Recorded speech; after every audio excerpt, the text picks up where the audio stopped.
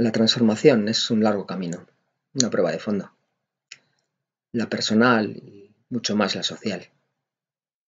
Ojalá no hicierais falta, pero me temo que vais a seguir haciendo.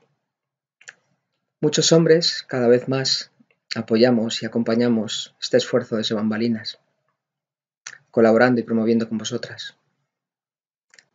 Cuando nos necesitéis en línea de batalla, batallando y arriesgando con vosotras.